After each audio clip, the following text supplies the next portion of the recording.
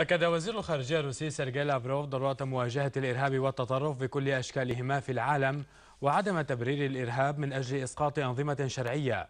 وشدد لافروف في كلمة له أمام مؤتمر ميونخ التاسع والأربعين للأمن على ضرورة المساهمة في التغلب على الأزمات الدولية والنزاعات الداخلية عبر تأييد مساعي الحوار الوطني الشامل والتخلي عن فرض العقوبات من مجلس الأمن. وحمل لافروف الدول الغربية مسؤولية استمرار الأزمة في سوريا مشيرا إلى أن تلك الدول لو ركزت جهودها ومساعيها والتزمت ببيان جنيف الذي كانت جزءا منه لانتهت الأزمة في سوريا الآن.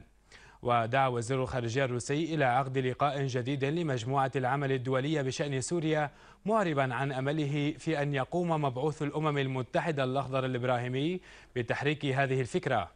وأكد لافروف أهمية السعي إلى استتباب الاستقرار في منطقة الشرق الأوسط وشمال إفريقيا وتأييد الإصلاحات الديمقراطية دون فرض أي إملاءات من الخارج داعيا إلى منع تكرار مآسي الحروب وتركيز الجهود الدبلوماسية في إطار الأمم المتحدة.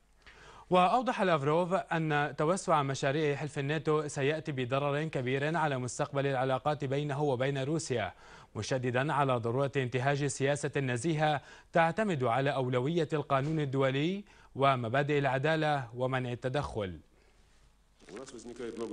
هناك الكثير من المسائل المتعلقة بمواقف شركائنا الغربيين. هل يسمح مثلا بدعم الجهات الموالية لتغيير النظام من خلال تبرير الأساليب الإرهابية؟ وهل يمكن أن تحاربوا أولئك الذين تدعمونهم في حالات أخرى؟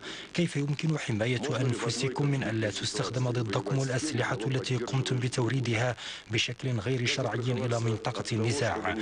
جميعنا يريد ضمان الاستقرار في الشرق الأوسط وفي القارة الإفريقية فضلا عن المناطق الأخرى.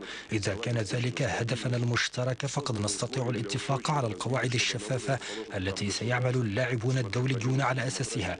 الاتفاق على أننا سندعم جميعا إصلاحات ديمقراطية في الدول التي بدأت فيها التغيرات ولكن من دون فرض مبادئ عليها من الخارج.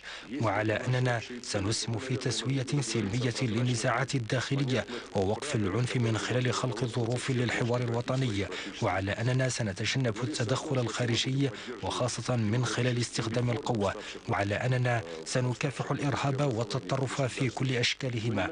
وأعتقد أنه إذا قام جميع مشاركي لقاء مجموعة العمل في جنيف بتحقيق ما اتفقوا عليه جميعا فمن المحتمل ألا تكون هناك حرب في سوريا اليوم.